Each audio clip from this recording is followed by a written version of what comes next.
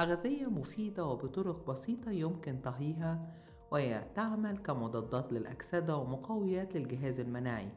هذا ما سنتعرف عليه في التقرير التالي. البطاطا نفسها كسعرات صحية بدل ما آخد حاجة فيها سكر أبيض بحاول على قد ما أقدر إن أنا أبعد عن السكريات والنشويات فممكن آخدها أسلقها. ممكن أعملها زي طواجن أحط عليها لبن وأحط عليها معلقة زبادي أحط عليها المكسرات المتاحة لأن المكسرات برضو مضادات أكسدة وأحماض دهنية مشبعه مشبعة فدي بتبقى قيمة غذائية عالية.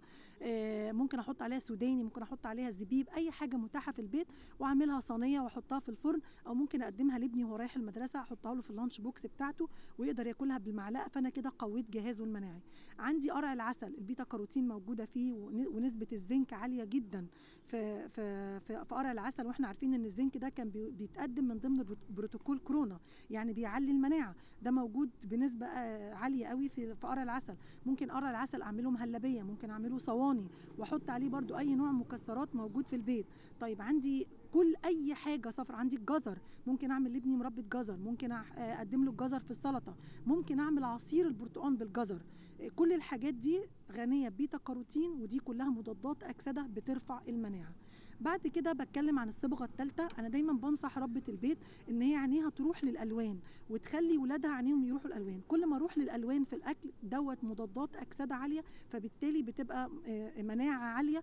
antioxidant يعني anti cancer اللي هو أقوى مرض ال antioxidant دي بتحاربها. طيب أنا بتكلم عن الصبغة الثالثه اللي هي الصبغة الحمراء ال anthocyanin. موجود في إيه؟ موجود في البنجر. وأنا البنجر دلوقتي عندي. الناس اللي بتخلل اللفت وبتحب المخلل ممكن أضيف أعمل البنجر نفسه مخلل وأكله مع المخلل بتاعي مش بس إن أنا أحطه كلون ممكن أحط الرمان أعمله بالبنجر ممكن أحط البنجر في السلطة ممكن عصير الطماطم اللي أنا بعمله للأكل بتاعي أحط عليه بنجر مسلوق ممكن المكرونة اللي هو البريد صوص ممكن أقدمها بالطماطم وبالبنجر أي حاجة أحط فيها البنجر ممكن أعمل بنجر شرايح وأقدمه لابني وهو رايح المدرسة برضو ياخده كل دي مضادات أكسدة عالية. الأنسوسيانين برضو دي الصبغة الحمراء ممكن ألاقيها في الفراولة ممكن ألاقيها في كل في الفلفل الأحمر أي حاجة في صبغة حمراء يعني خلي مبدئك دايما. كل ما هو أخضر داكن كل ما هو أحمر داكن كل ما هو صبغات كل دي مضادات أكسدة متاحة ليا فبتعلي مناعتي. آه ممكن برضو إن أنا أدور على التمور. إحنا دلوقتي أنا محتاج في الشتاء لطاقة. وبدل ما أدور برضو زي ما قلت على السكر الأبيض أو الحاجات اللي فيها نشويات اللي هو الدقيق الأبيض ممكن أنا أستغل إن أنا أعمل الصبح كوباية بليلة باللبن بمعلقة عسل أو ممكن كوباية تمر باللبن وعليها مش, مش هحتاج بقى لا عسل ولا سكر لأن السكريات موجودة في التمور ودي سكريات صحية بتمتص بالتدريج في الجسم فبالتالي بتديني الطاقة اللي أنا عايزها بالتدريج. ممكن برضو إن أنا أعمل كرات من العجوة أحط عليها جوز هند وأحط عليها سمسم وأحط عليها سوداني وأشكلها من التمر وأقدمها لابني في ال lunch box. ممكن لو أنا جوعت أكلها يبقى سعرات صحية.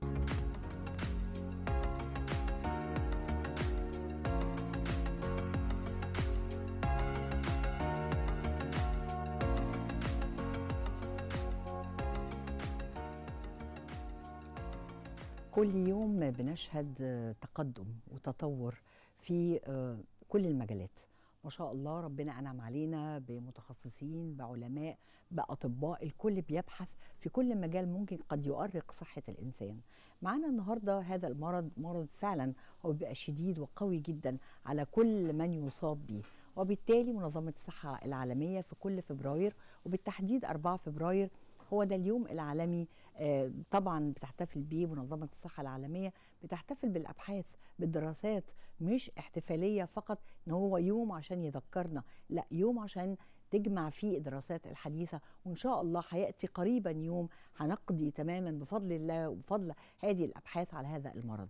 عايزين نتكلم عن أهم آه عايزة أقول دعم الحقيقة لهذا المرض بالتحديد هي المناعة. هذا الجهاز القوي الخطير عشان أقدر أكمل الحياة وأكمل الطريق وأطلع على خير. تعالوا نشوف النهارده إيه المنظومة الغذائية، المنظومة أو الثقافة التغذوية اللي ممكن نهتم بيها. دكتور أسماء خالد معانا النهارده اخصائيه تغذية طبعا ونقول وسمنه لكن هي هذه التفصيلات الخاصة مهمة قوي النهارده عشان نشوف أطواق النجاة بعيدا عن هذا التقرير التقرير فعلا كان بيتكلم عن مضاد الاكسده لكن عندنا الكثير والأسرار مع دكتور أسماء. ازيك يا دكتور أهلا بيكي واهلا بكل مشاهدي زينة والقناة الثانية آه، طبعا إحنا سعداء بوجودكم معانا وبحب قوي الشابات كده بيبقوا دايما هم أصحاب بقى الدراسات الجديدة وال- والحماس ودايما متابعين كل هذه التفاصيل الخاصة بالصحة العامة كمان لمرضى السرطان سواء نساء أو أو رجال أو حتى أطفال وبنلاقي وليه يا دكتور أسماء؟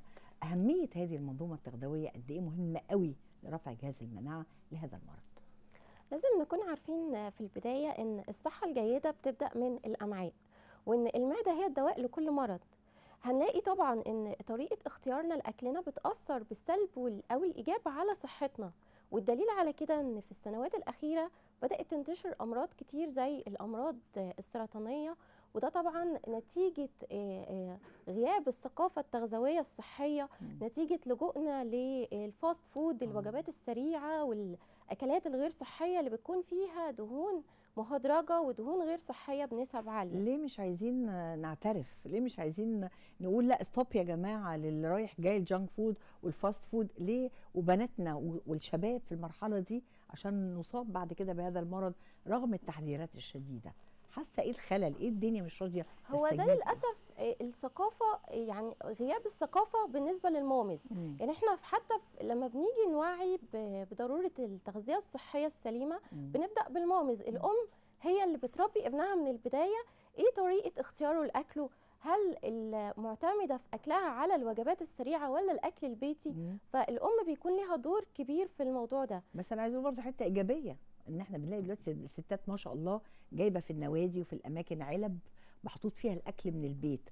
أنا برضو عايزة أدي بارقة أمل يا جماعة لأن في فعلا ردود افعال ايجابيه ده طبعا مع انتشار بقى ال life coaches والانتشار آه، دكاتره كتير بيتكلموا في ال lifestyle الصحي بدأت الثقافة إلى حد ما تنتشر بين الأمهات خصوصا ال moms اللي لسه صغيرة في السن. بالظبط. آه، طبعا الأكل الصحي آه، هو أكل بيحتوي على جميع العناصر الغذائية الضرورية لتعزيز جهازنا المناعي. في الأكلات دي بنهتم أكتر بالعناصر اللي تعزز من جهازنا المناعي زي عنصر الزنك وفيتامين C.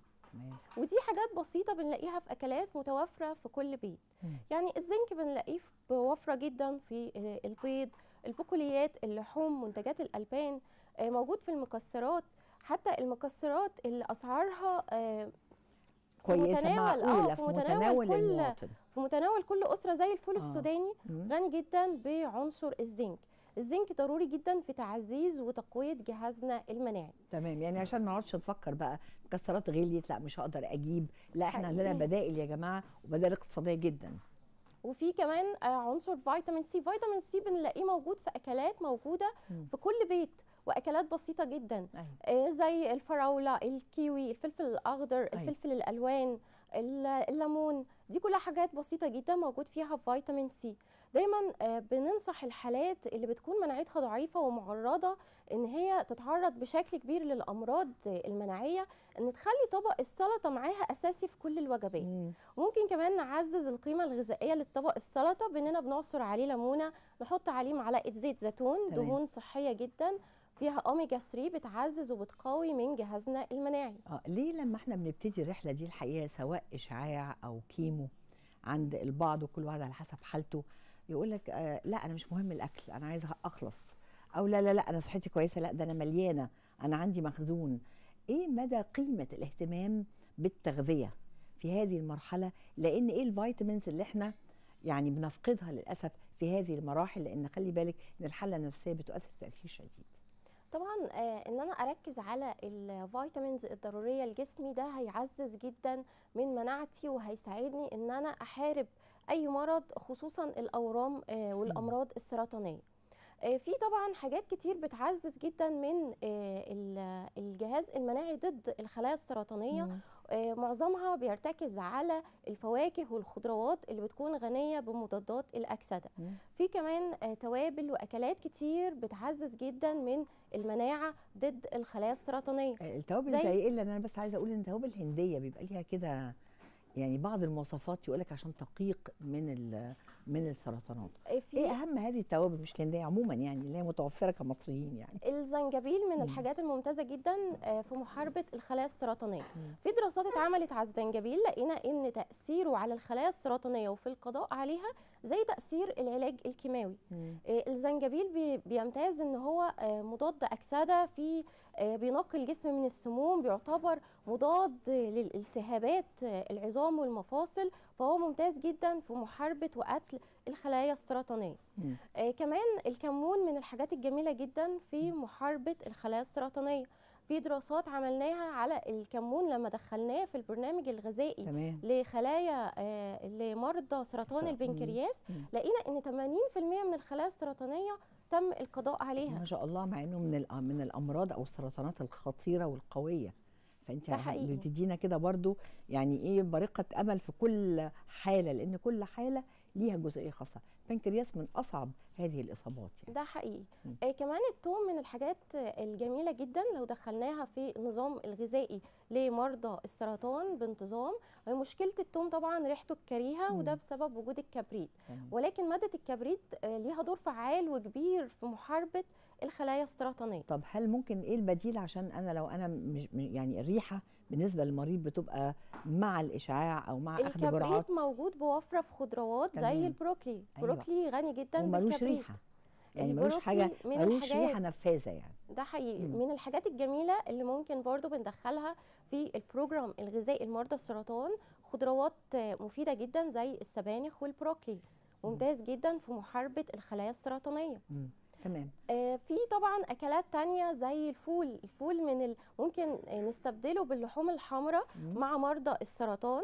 آه، الفول في مادة آه، حمض الفتيك حمض الفتيك بيقلل من استنساخ الخلايا السرطانية وبيقلل من نموها آه. فممتاز جدا. يعني ممكن يخلي الحالة مستقرة إلى حد كبير. ده ما حقيقي يزودش ما بيبقاش في زيادة في هذه الخلايا. كمان آه، الفول فيه عناصر غذائية مفيدة جدا زي آه، حمض الفوليك وفيتامين بي 6 اللي بتعزز وبتقوي من جهازنا المناعي. إيه الشكل والطريقة لما أحس إن المريض أو المريضة ما عندهمش قابلية للأكل؟ هل أنا ممكن أتحول إلى ال vitamins البديلة؟ هل ممكن إن أنا أضرب في الخلاط أعمل إيه البدائل اللي أنا ممكن عشان ممكن؟ ناخد عصاير طبيعية غنية بمضادات الأكسدة. مم. آه، مضادات الأكسدة ليها دور كبير في آه، مقاومة الخلايا السرطانية. مضادات الأكسدة بت- بتحمي الخلايا من التلف الناتج عن السموم الناتجة عن الخلايا السرطانية مم. المضادات المضادات الأكسدة دي بنلاقيها بوفرة في عصير التوت في عصير الرمان. آه، عصير البرتقال دي أيوة. كلها حاجات بسيطة جدا وسهلة ومشروبات صحية ممكن نديها لمرضى السرطان نصيحة بقى أخيرة كده وإحنا بنختم الفقرة الجميلة السريعة المركزة قوي كده يا دكتور أسماء أهم هذه النصايح عايزة أقول للي بيشوفنا دلوقتي إيه اللي بيرعى المريض والمريض نفسه لازم أنصحه أقول له إيه سواء اللي بيراعي وسواء اللي نفس المريض. الأول عشان أنا آه، أتجنب السرطان أو أتجنب أصلا آه. آه، الخلايا السرطانية إنها تظهر في جسمي اولا لازم أتجنب آه، زيادة الوزن ومرض السمنة أيوة. آه، أبدأ أبعد عن المشروبات والسكريات طبعا. والأكلات اللي بتكون غنية مم. بالسكر العالي كمان لازم نظامي الغذائي يكون فيه كميات وفيره من الفيتامينز الموجودة في الخضروات تمام. والفواكه مم. وأبعد طبعا عن آه، الكحوليات والتدخين العادات طبعا. السيئة اللي بتكون سبب رئيسي في ظهور طبعا إحنا لو قعدنا. النهارده فعلا نتكلم على هذه المنظومة فعلا عندنا يا جماعة كتب وبحور لهذا الأمر لأن كل يوم في جديد. وأنا سعيدة دكتور أسماء خالد كانت معايا النهارده بسطت لنا هذه الأمور. وإن شاء الله يا رب العالمين أتمنى لحضراتكم الشفاء لمن يصاب بهذا الأمر. بس خلي بالكم إن العملية التغذويه مهمة جدا جدا. معلش نيجي على نفسنا واللي بيراعي أي مريض يحاول يصبر عليه. عبير. أخبرني. إحنا اخبارنا 100 100 يعني الشيف نوع الحقيقة يعني قررت إن هي تراضيني عشان خاطر أشتغل وأنا نفسي أيوة. مفتوحة فخلصت الحلويات عشان بس خاطر كده عشان تبتدي على طول. سيبيلي بقى. أنا الأرانب يا عبير. يعني هنخلي بقى ما إحنا. لازم نعمل تيست بقى ناخد شوية وانتي شوية. أنا هسيب لك الارانب والله. يا حبيبتي. طيب إن شاء الله نستمتع بإذن الله من خلال فقرة المطبخ وطعم البيوت والفقرة الحوارية آه، مع آه، عبير وإن شاء الله نستمتع بهذه الفقرات. وطبعا بنشكر آه، طبعا دكتور أسماء خالد أخصائية ال- التغذية والسمنة كانت معانا النهارده. أشكرك يا حبيبتي. أهلا بيكي. مشاهدينا ننتقل بحضراتكم للفقرة القادمة وطعم البيوت بكل تفاصيله. خليكم معانا.